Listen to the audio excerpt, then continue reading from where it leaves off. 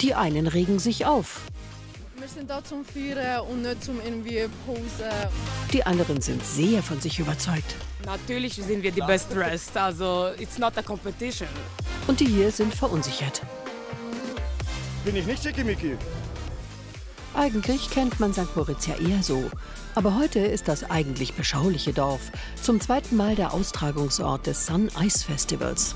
Ein Techno- und Electronic Dance Music Festival, das am Wochenende über 20.000 Leute besuchen.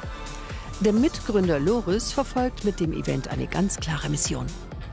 Wir sind kein einfaches Open Air, wo du dich im Schlamm wälzt. Das sind wir nicht, wollen wir nicht sein. Wir wollen St. Moritz verjüngen, aber auch ein gewisses Niveau erreichen. Man sagt doch oft, wir seien das Coachella der Berge. Oha, wir befinden uns hier also auf einem etwas besseren Festival für die Schönen und Reichen.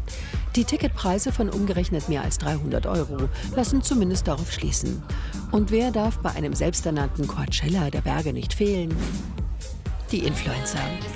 Sie sind jung, von Kopf bis Fuß durchgestylt und meist daran zu erkennen, dass sie es kaum eine Minute aushalten, ohne zu pausen, sich von einem Selfie-Hotspot zum nächsten schwingen und ganz klar ein Motto verfolgen.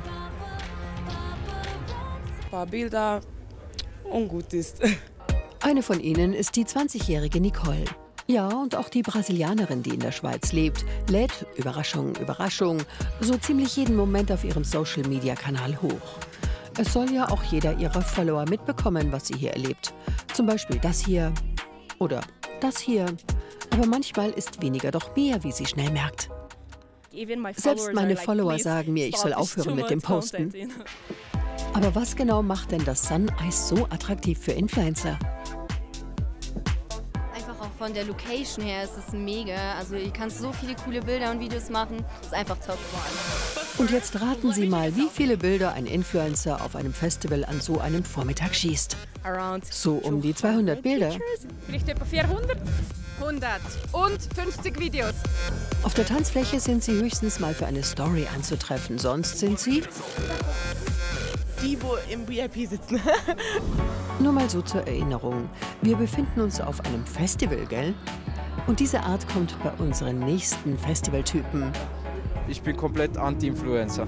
gar nicht gut an. Die Raver. Sie sind tatsächlich wegen der Musik hier und fühlen sich fast schon gestört von dem Geknipse. Influencer sind scheiße, filmen wir nicht. Sind einfach real, sind ein bisschen normal, haben einfach gute Zeit und bring, verbringen nicht so viel Zeit auf Instagram, sondern mehr vor dem DJ am Tanzen. Das ist meine Message. Und tatsächlich, die Gattung der Raver hält sich entweder beim DJ oder auf der Tanzfläche auf. Skurrile Outfits ein Muss und sie wollen vor allem eins. Geile Musik, coole Leute, coole Vibes, Alkohol, Party. Sie denken, die Raver haben verrückte Outfits? Von wegen. Denn diese Festivalbesucher treiben das Ganze auf die Spitze. Nein, der Raver bin ich gar nicht eigentlich, weil äh, ja, das, ich bleibe beim Alkohol, oder? Das andere brauche ich nicht. Ja.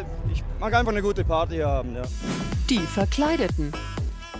Ob als Alien, im Trainingsanzug-Look der 80er oder mit LEDs behangen. Diese Besucher hier haben das Sun Ice Festival wohl mit dem Kölner Karneval verwechselt. Aber die Gründe für ihre Verkleidungen sind sehr unterschiedlich. Nach zwei Kindern und zwölf Jahren Ehe heirate ich bald. Endlich.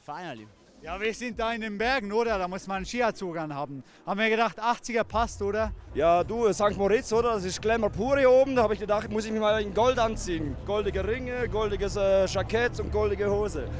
All der Glamour, um hier heute eine reiche Frau kennenzulernen, verrät uns der 36-jährige Schweizer.